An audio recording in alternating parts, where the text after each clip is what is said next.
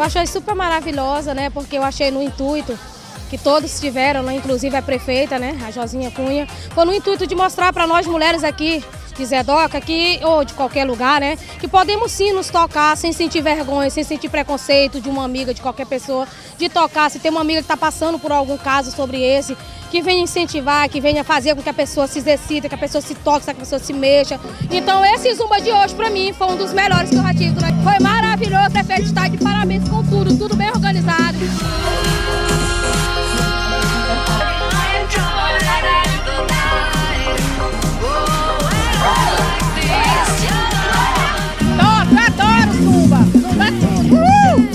É de extrema importância porque é um mês que a gente vai fazer com que as mulheres possam ter mais cuidado com a sua saúde, fazendo autoexame, para que justamente possa evitar uma doença mais séria que, não, em que, dificulte o tratamento.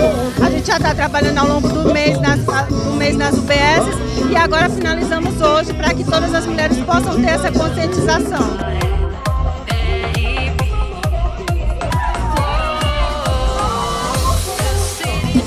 agradecer primeiramente a Deus por essa oportunidade de a gente estar aqui hoje, junto com nossas amigas, aqui a nossa turma da saúde, nosso Outubro Rosa, com um mês de grandes conquistas.